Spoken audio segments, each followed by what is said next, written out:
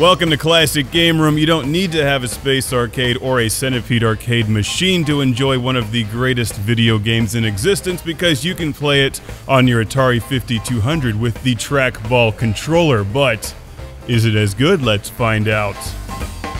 It's Centipede, one of the greatest arcade games ever made, released by Atari in 1981. A game played with a very unique control system, a trackball which provides an incredible amount of speed and precision that you use to destroy the centipede and other fast moving objects on screen, like spiders and scorpions and fleas.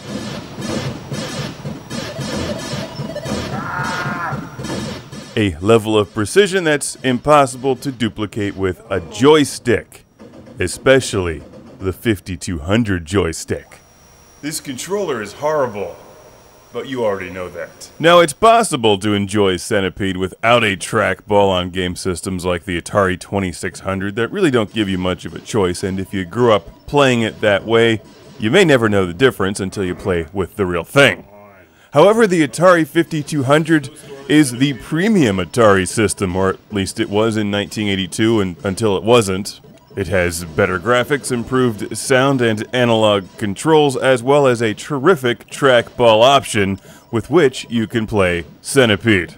And this is a very good version of Centipede, by the way. Let's take a quick look at the trackball controller, which I've previously reviewed. I like this thing a lot. It's one of the best things the 5200 has going for it, and serious collectors should not be caught without one. It pains me to have to move the TurboGrafx 16 out of the way, but it's got to be done to make room for the 5200 trackball controller. Now let's play Centipede the correct way.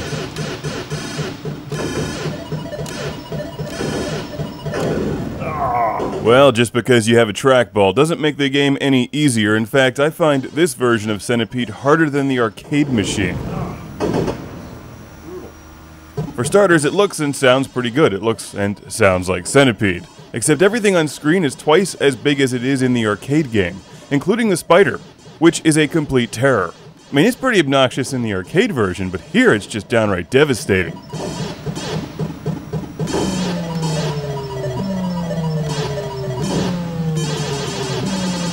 Although the trackball is very good, you're not going to get arcade level speed and precision, but for a home console version from the 80s, it's excellent.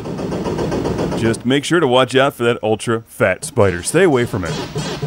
There's three levels of difficulty I found standard plenty hard, and while I enjoy this version of Centipede, it has a different flow and speed than, than you'll find on the arcade machine. So it's a slightly different game that requires some strategy adjustment, but it's it's still Centipede and it's still really good.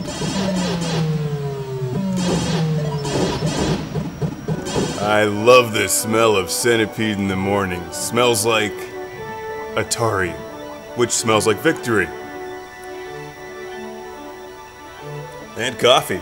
Coffee and victory go well together. It's a great combination, you should try it.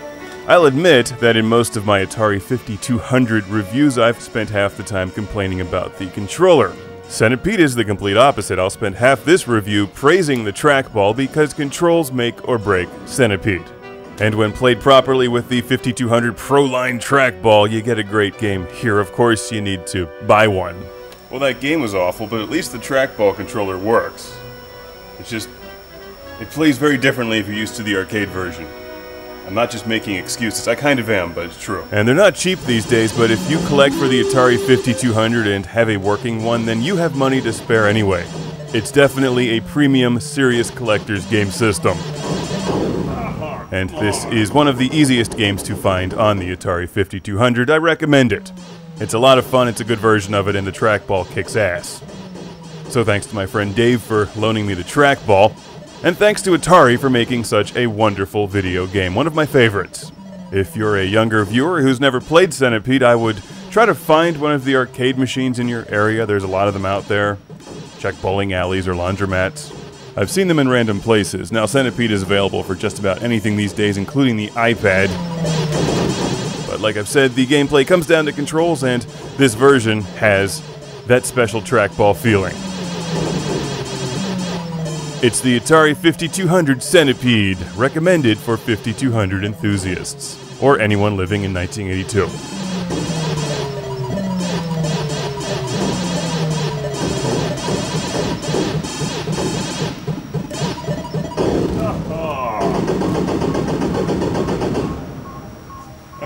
It's the best I can do in this game.